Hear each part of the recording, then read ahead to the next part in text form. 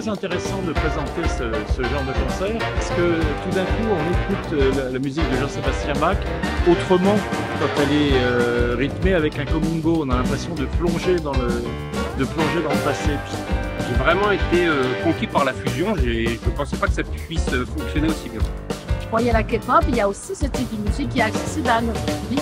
J'ai beaucoup, beaucoup de quoi apprécier. Il a coexisté la, la musique traditionnelle, la musique plus ou moins plus moderne, le, donc le, à travers le chant. Le, donc c'était vraiment un... Donc euh, ça m'a fait encore plus apprécier la culture coréenne que je côtoie depuis un certain nombre d'années, notamment par le Centre culturel coréen. Et je vous remercie beaucoup, beaucoup pour cette présentation qui m'a ravi ce soir.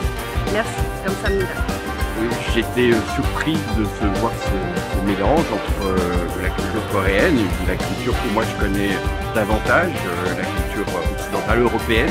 Voir euh, le, lien entre la Corée et la France, c'est vraiment incroyable. J'espère qu'il y aura à nouveau ce genre d'événements et bien sûr que je serai présente.